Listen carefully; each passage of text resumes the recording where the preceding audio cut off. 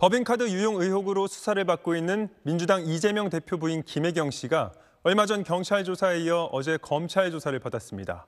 선거법을 위반했다는 혐의를 받는 이재명 대표의 기소 여부는 오늘 결정될 가능성이 큽니다. 안희재 기자입니다.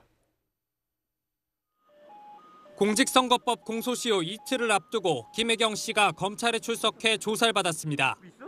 경기도 공무원 배모 씨와 함께 법인카드를 유용한 혐의로 경찰이 사건을 넘긴 지 일주일 만입니다.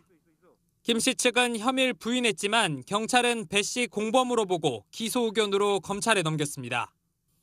검찰은 지난 3일과 그제 공익신고자 A 씨 역시 참고인으로 소환했는데 김혜경 씨와 배 씨 관계를 집중적으로 캐물은 걸로 전해졌습니다.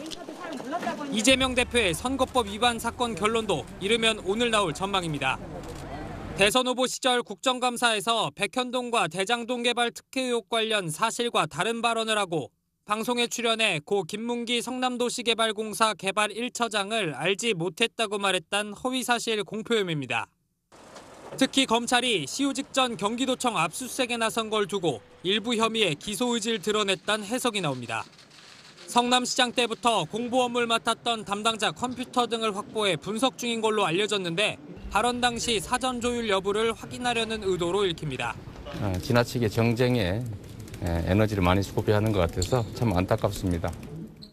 선거법 공소시효 이후에도 대장동 개발 의혹 수사 등을 놓고 이 대표와 검찰 사이 신경전은 이어질 걸로 보입니다. SBS 안희재입니다.